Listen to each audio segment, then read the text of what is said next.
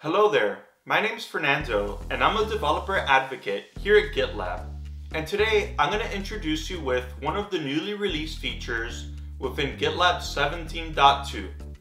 I'll be going over the extended support for remote rule sets in secret detection, allowing you to use one rule set configuration in a remote location to load and populate the rules for the secret detection analyzer simplifying the way that you configure secret detection for multiple projects.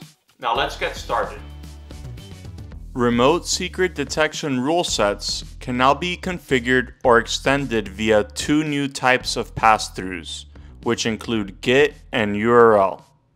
Additionally, the secret detection analyzer now supports the chaining of up to 20 pass-throughs in a single configuration to replace predefined rules, the inclusion of environment variables in pass-throughs, the ability to set a timeout when loading a pass-through, and validation of TOML syntax in the rule set configuration.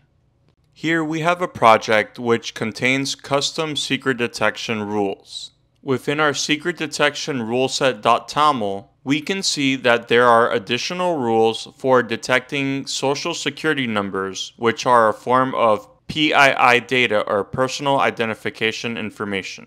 You can see the links in the description to learn more on how to add or configure a rule set. Now I'll navigate over to IRS audits, which is the project where I want to apply this new rule set.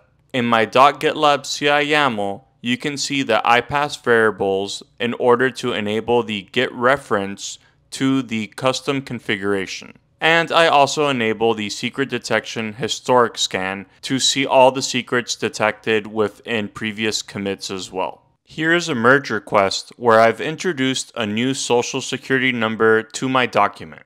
The first thing we notice is that approval is required before this can be merged. This is because merge request approval policies integrate directly with secret detection, which now detects a social security number as a vulnerability.